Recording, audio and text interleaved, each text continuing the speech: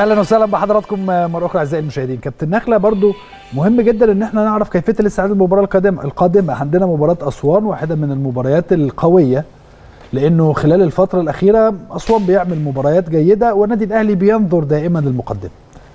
طبعا يا إسلام كلامك منطقي جدا. لازم أجهز بشكل كويس. العامل العامل النفسي لعيبه النادي الأهلي دلوقتي مهم جدا جدا. ماتش أسوان طبعا فرقه أسوان هتيجي طبعا مش زي ما إحنا متخيلين إنهم برضه قبل الأخير في الدوري أو خلاص شبه بيهبطوا. موقفهم صعب جدا طبعا. عاوز أقول لك إن هم هيجوا برضه هيبقوا زي البنك الأهلي تمام؟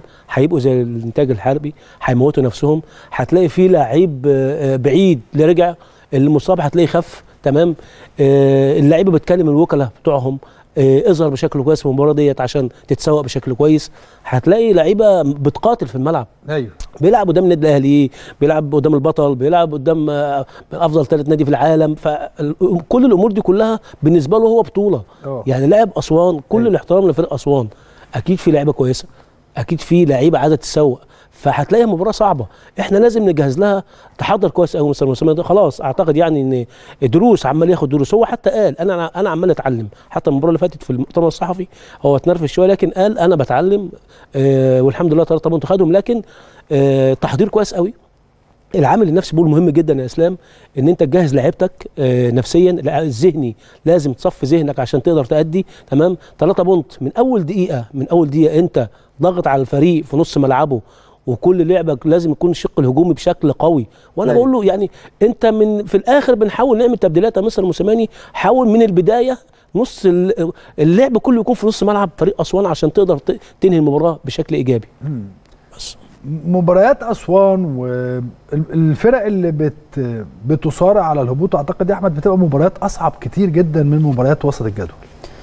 أكيد يا كابتن إسلام وخصوصا أنت بتتكلم من الفرق دي إن الدوافع عندها أنا بشوف دايما إن الدوافع عند الفرق اللي, اللي بتنافس على الهبوط دوافعها أكبر من الفرق اللي بتنافس على بطولة الدوري.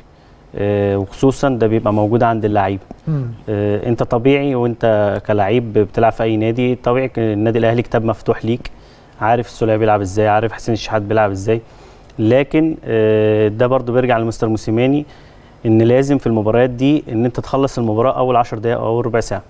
تحسس لا إن الفرقة إن أنت مش محتاج حاجة من الماتش لكن طول ما أنت الماتش تلت ساعة نص ساعة نتيجة تعادل لا هيكتسب هتلاقي فريق أسوان بيكتسب ثقة هتلاقيه بي بيهاجمك ما تستغربش من ده. لكن اللي هيفرق يمكن أنا عشت مع بعض الفرق اللي كانت بتنافس على الهبوط وأنا بلعب وعشت مع النادي الأهلي وأنا باخد بطولات لا الفرقة اللعيبة زي ما قال الكابتن نخلة إن الدوافع عندها كبيرة جدا.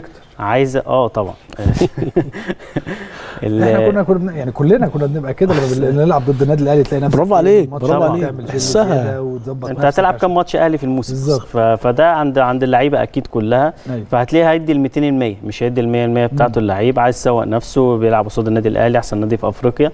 فأكيد هتبقى مباراة صعبة أكيد مش سهلة لكن اللي هيسهل عليك المباراة هو إن أنت تجيب جون في أول الدقايق أول 10 دقائق أو اول ربع ساعة مم.